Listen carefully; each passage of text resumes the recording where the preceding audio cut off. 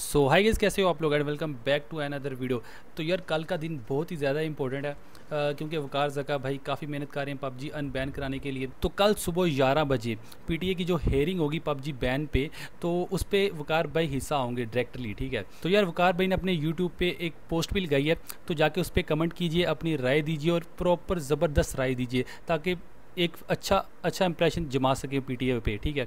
ताकि यार PUBG N ban हो और ऐसी ज़बरदस्त वजह दें ताकि वकार भाई आपकी वजह पढ़े और इम्प्रेस हो जाएँ, ठीक है? तो मैं आप लोगों को वो क्लिप भी दिखाता हूँ जो वकार भाई ने लगाया है। और पूरी वीडियो का मैं लिंक डिस्क्रिप्शन में दे दूँगा, आप जाके वहाँ से भी देख सकते हो। पबजी लवर्स कल का दिन बहुत अहम है, क्योंकि 9 जुलाई सुबह 11 बजे पाकिस्तान टाइम के मुताबिक मैं वर्चुअली हिस्सा होऊँगा हेयरिंग का। जो पबजी गेम पे पीटीए ने सस्पेंशन की है, उसके लिए पीटीए हेडक्वार्टर्स में ये सारी मीटिंग होगी और वेब के थ्रू जूम या जो भी सॉफ्टवेयर है, इनका उसके थ्रू मैं लाइव अपने मौकफ इनके साथ बयान करूँगा। तो यार अपने आइडियाज़ वकार भाई के साथ शेयर कीजिए, इनकी वीडियो पे जाके कमेंट कीजिए, या इनको ट्वीट पे टैग कीजिए, या इनको इंस्टाग्राम पे कीजिए, या फेसबुक पे कीजिए, बस ये वीडियो शेयर करके आप लोगों ने कमेंट करना और अपनी राय देनी और लाजमी देनी है, क्योंकि कल का दिन बहुत ही ज़्यादा इंपॉर्टेंट है, ठीक है? तो रात को वकार भाई ने अरसलान ऐश का इंटरव्यू भी लिया, जो कि टेकन बेस्ट प्लेयर है वर्ल्ड में बेस्ट नंबर वन प्लेयर है। उस भाई साहब ने भी यही कहा है, यार, ये बैन नहीं होनी चाहिए, क्योंकि यार पाकिस्तान में ऐसे बहुत सारे गेमर्स हैं जो पाकिस्तान का नाम रोशन कर सकते हैं दुनिया में टूर्नामेंट्स जीत के। और पाकिस्तान में अगर वो टूर्नामेंट जीते हैं, या पाकिस्तानी गेमर टूर्नामेंट जीते हैं तो यार बाहर से ब्रांड आएँगे ई स्पोर्ट्स आएगी, हमें हर चीज़ अच्छी मिलेगी। हमारे इधर भी टूर्नामेंट्स होंगे वर्ल्ड वाइड टूर्नामेंट्स इधर पाकिस्तान में हो सकते हैं। क्योंकि अगर हमारा मुल्क जीता है तो यार बाहर से हमारे साथ खेलने लोग आएँगे, यार इनको जाके हराते हैं।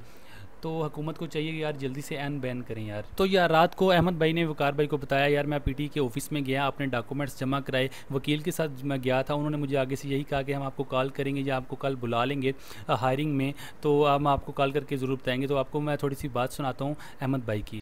फ़र्स्ट ऑफ़ ऑल ये है कि मैं गया और हाई कोर्ट तो नहीं आपको पता है पीटीए के ऑफ़िस ही जाना था और वहाँ पे जाके अपने डॉक्यूमेंट्स और अपने ग्राउंड सबमिट करवाए।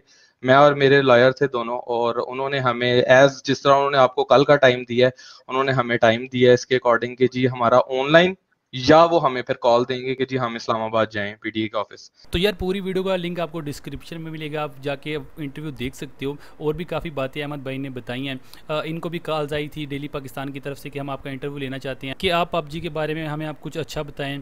तो इन्होंने कहा यार आपने सिक्योरिटी शो लिया तो उन्होंने बताया कि नहीं यार, वो बंदा पहले से मौजूद था, वो लड़का पबजी प्लेयर वो पहले से मौजूद था। हमने नहीं उसको बुलाया। जो जिसका हम इंटरव्यू लेने गए थे, उनके साथ ही वो बैठा हुआ था।